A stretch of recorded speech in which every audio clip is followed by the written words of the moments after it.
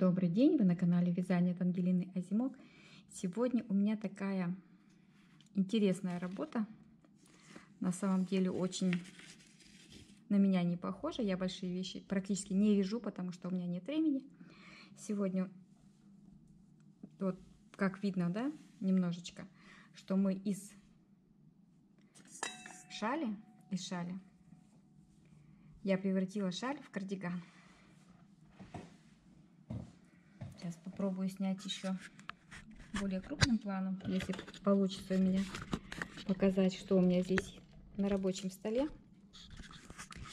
Вот такая вот шаль, которая превращается. Вот наша шаль. Я рукава не стала вязать и продолжила вязание дальше. И у меня получился вот такой вот кардиганчик. Давайте смотреть видео и по частям увидим, что связано. А на манекене я уже покажу готовую работу.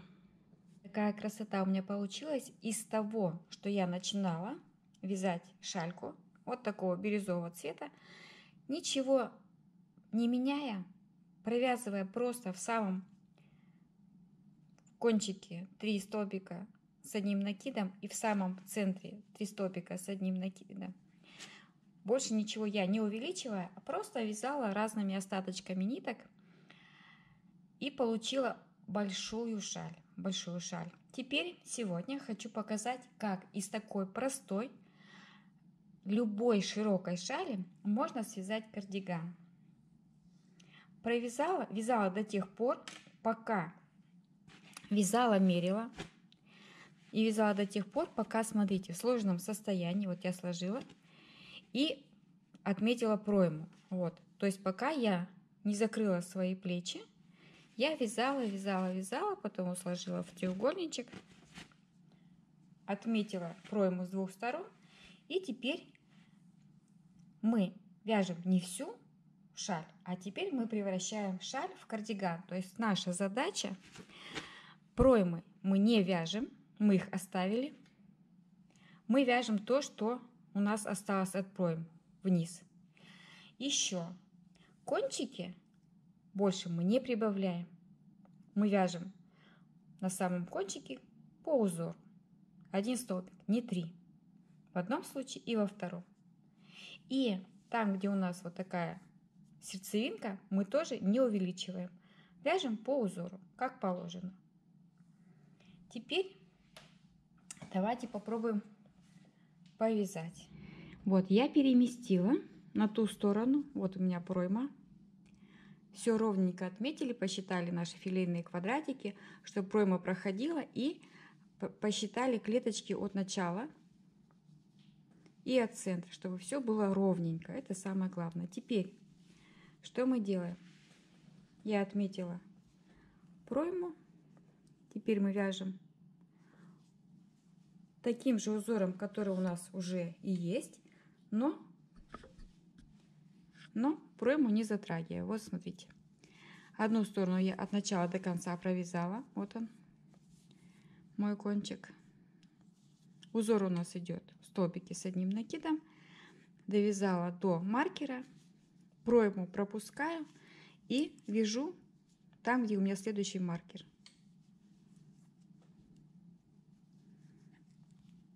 Вот. Довязываю наш узор до конца.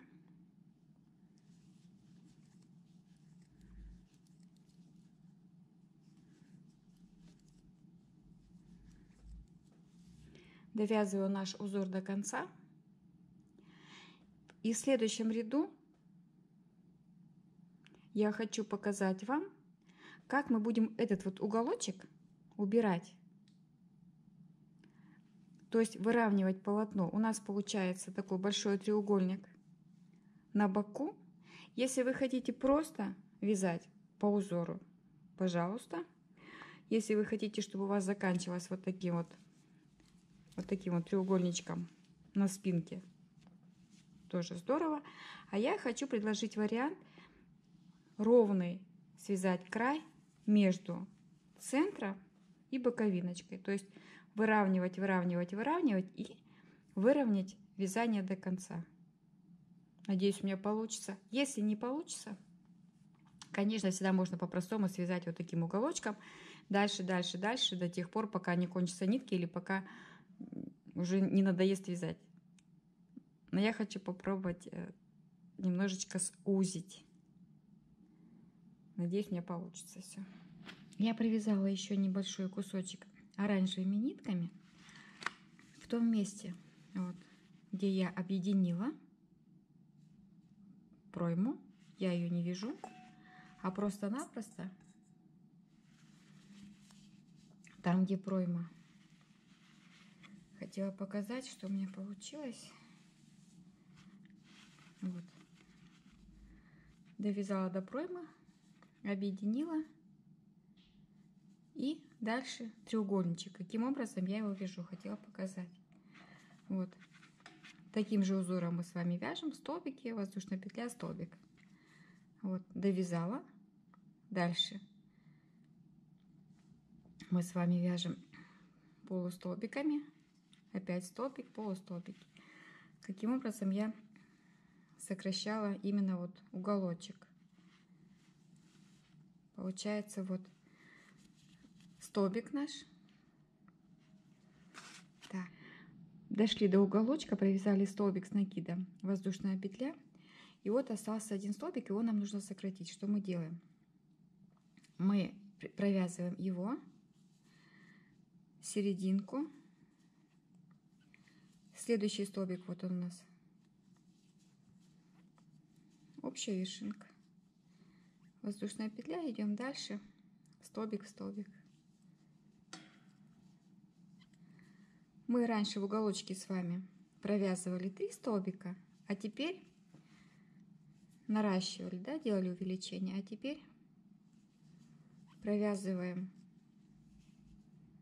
там, где пройма, просто 3 столбика вместе. А в следующем ряду полустолбик здесь, в центре и здесь. Три полустолбика я свяжу с одной вершинкой, для того, чтобы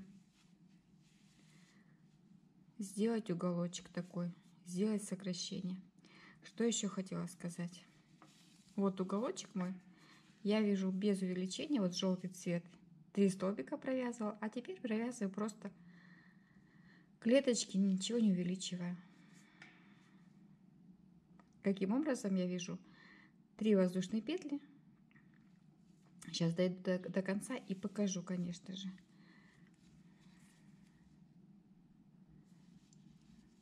Или вот, или вот сейчас покажу. Получается, смотрите, вот привязала.